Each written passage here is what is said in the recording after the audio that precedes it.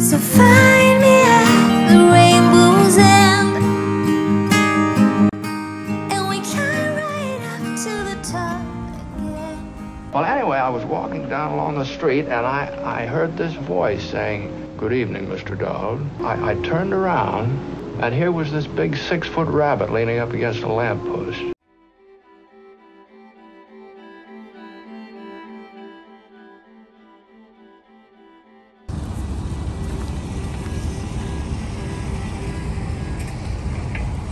Mary Agnes McDonnell Coyle, a pioneer in the early women's part movement as a journalist, playwright, and children's novelist. She was born right here in Denver, Colorado. In what was known as the Baker's neighborhood. And this is where she went to high school.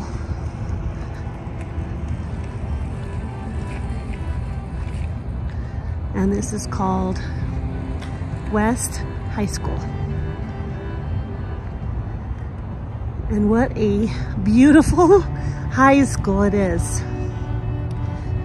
I've driven by it and near it, but I've never actually stopped here to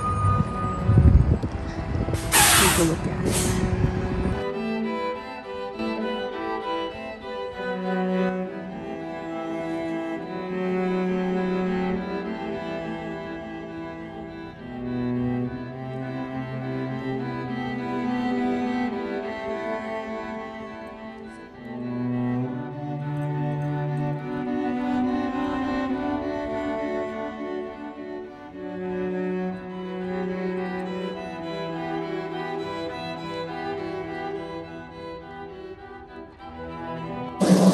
She grew up Irish Catholic and poor in the working class Baker neighborhood in Denver on the other side of the railroad tracks. And we are in the heart of Denver, so beware of the noise. Timothy, James, John, and Peter, and her brother Charlie, who became a circus clown, who impacted her sense of comedy, imi- imitating his natural gifts at mimicry, one liners, and comic routines.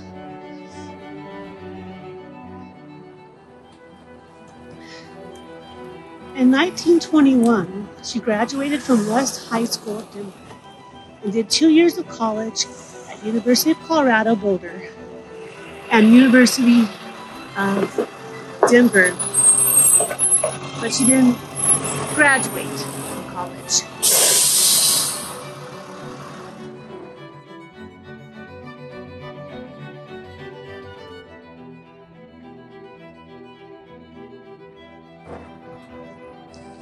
In 1924, she began her career as a journalist in the Denver Times, which folded into the Rocky Mountain News.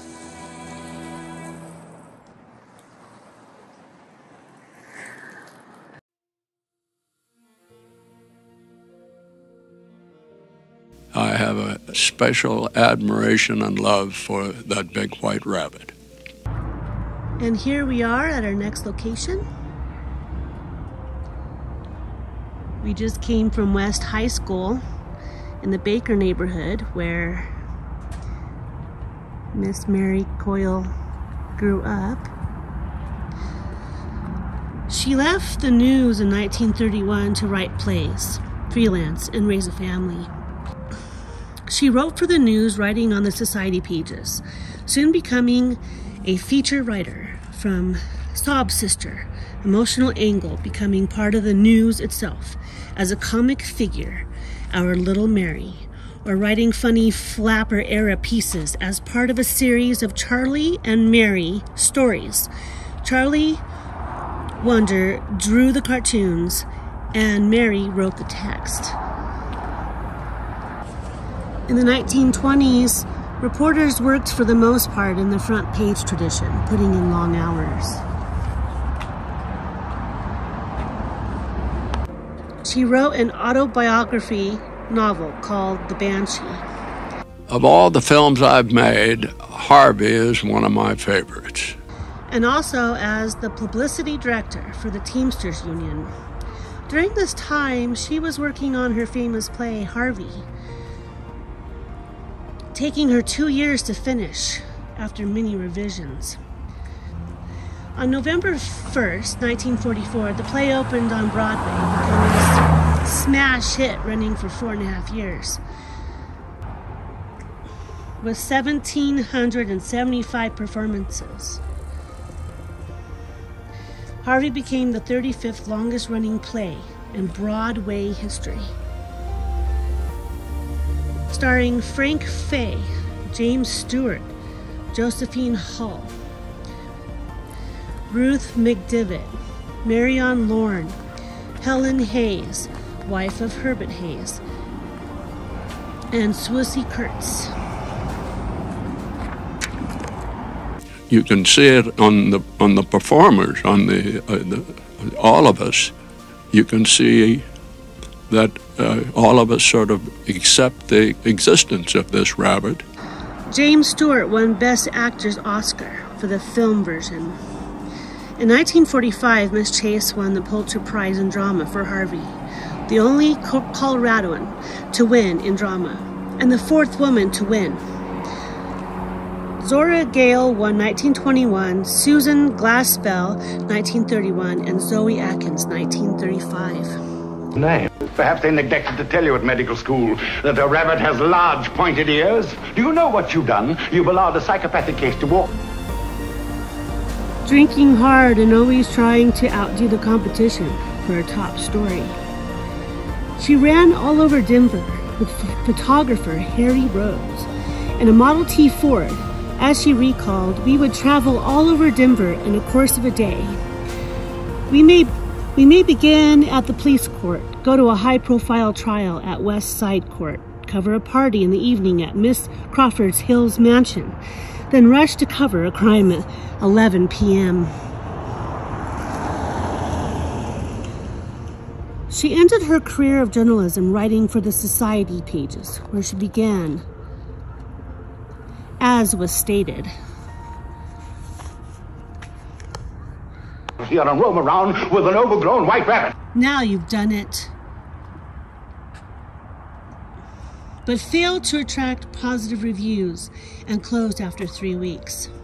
In 1938, she wrote Chi House. It was made into a Hollywood film called Sorority House, starring Anne Shirley of Anne of Green Gables fame. In the 1940s, she had a series of government, volunteer, and union jobs, serving as the information director for National Youth Administration, doing volunteer work for the Colorado Foundation for the Advancement of Spanish speaking peoples.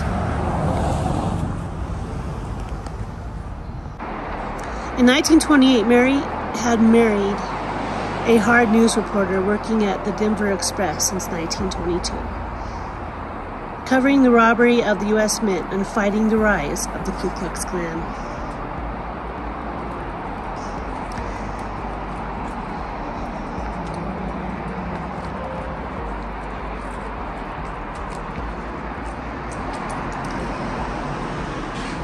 So, right here is where Mary lived with her husband and her three sons.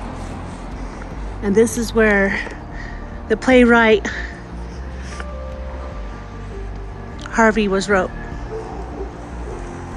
I believe that these apartments were put in later, and the house that was here was torn down where she lived.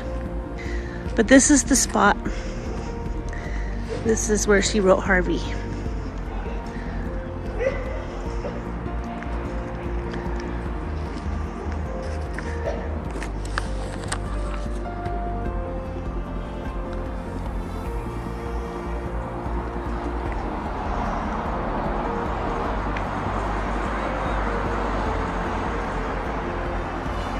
very beautiful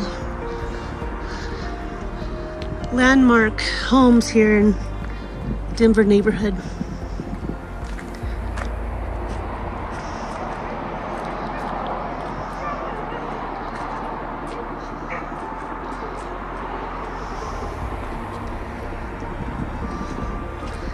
Now we will cover uh, another location, our last location. Let's go. We have some more adventuring to do. Thanks for coming along with me. He became a, a, a very close friend of mine. We were driving and.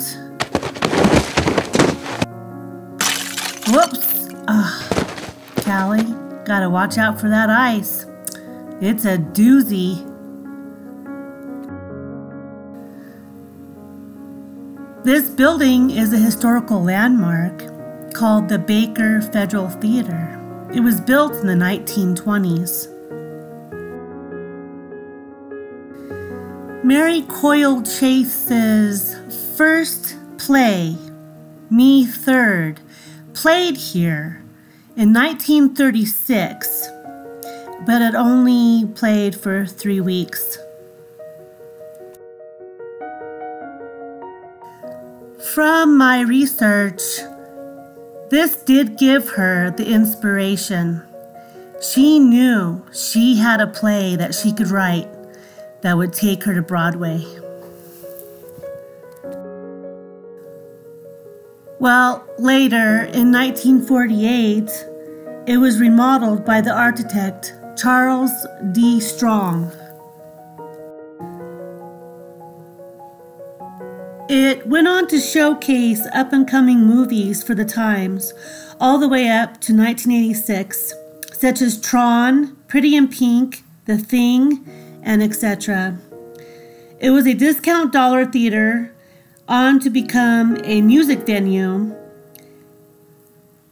And in 2009, renovations began for the Outreach Church, helping the homeless and reaching out to the community.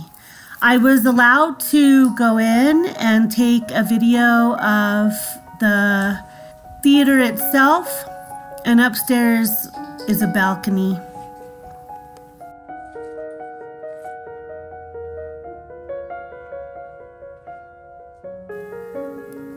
It is quite exciting to see that this historical landmark is being used to help the community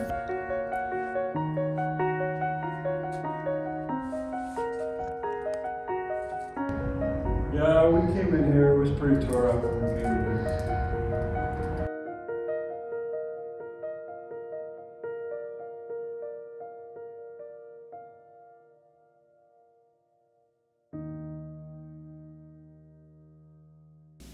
I've had letters, and they they've said one of the reasons I like the picture so much is because uh, I have a friend like that that I sort of turn to when I need advice and when I need encouragement. I don't know whether mine is a, a, a rabbit or not, but uh, but uh, he's a friend.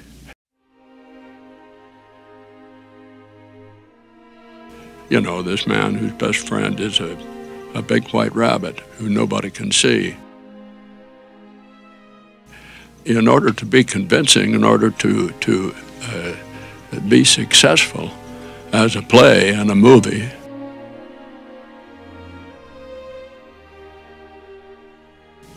the writing has to be something very special, and Mary Chase certainly uh, made that take place. We come to Crown Hill Cemetery. A beautiful, snowy day. We just got a storm.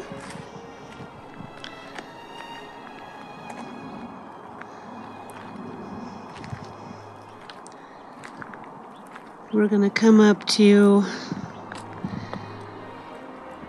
Mary Coyle Chase and her husband Robert.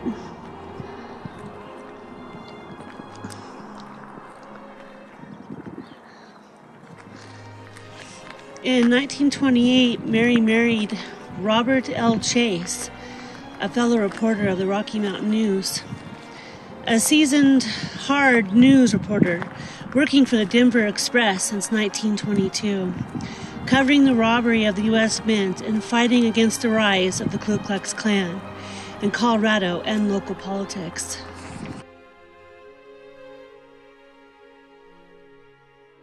The Express eventually merged with the Rocky Mountain News, and Bob went on to a 47 year career at the paper, working towards associate editor. He became a founding member in 1935. In 1932, they had their first son, Michael, who became the director of public television in New York. Their second son, Colin, a professor of English literature at the University of Toronto, and third son Jerry, a college academic counselor in New York City, and wrote the play Cinderella Wore Combat Boots.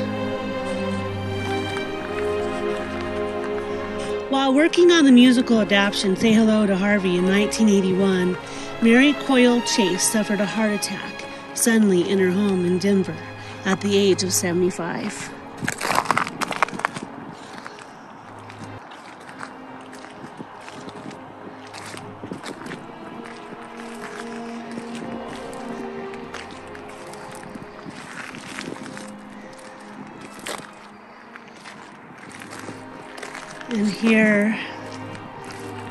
Come to the final resting place of Robert L. and Mary C. Chase.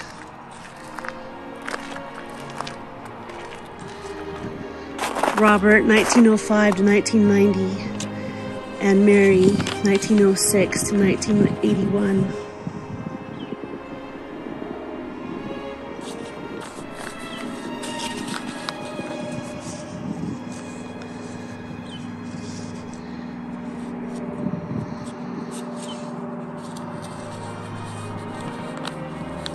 Lot of fun telling her story. It's a story about this man that has this great big white rabbit. That that's his friend. When I first found her story, I, I got a lot of inspiration from her because she was a pioneering newspaper reporter, journalist, playwright, author. She never gave up. From what I read, she seemed very strong and persevering. I get a lot of motivation from that. I found this really cool rock. And I left some flowers for, for them. So I want to thank Mary and Robert Chase for letting me tell their story. I felt very positive about the whole experience and I like that in a story that I can tell and I think it's good to tell their story although it happened a long time ago we should never forget about these pioneering people that brought creativity and perseverance to the world and in this story brought journalism and writing being a playwright and never giving up on your dream of the story that she was writing and really wanted to bring it to the world in all the ways possible.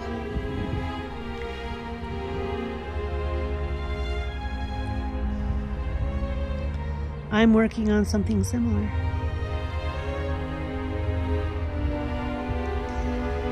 So here we go.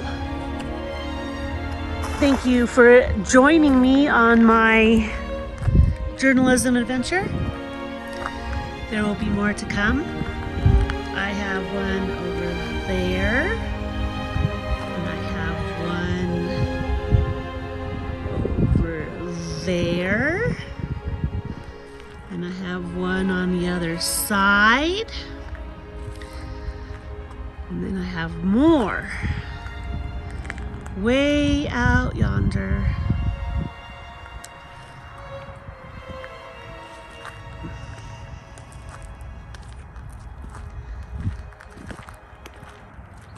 stay tuned for a tribute story. We're going to go just a little bit over that way. It's a warm hearted tale that proves there's no power like the power of the imagination. So I, I, I just like to say to all of you people out there, I also would like to add a little tribute to the Harvey family that lay just behind Mary and Robert Chase. Edwin and Doris M. Harvey had a daughter named Doris Marvita Harvey Zellner, who also attended West High School. She was an editor of textbooks and an accomplished artist. I found this to be quite intriguing. They found one another to rest together.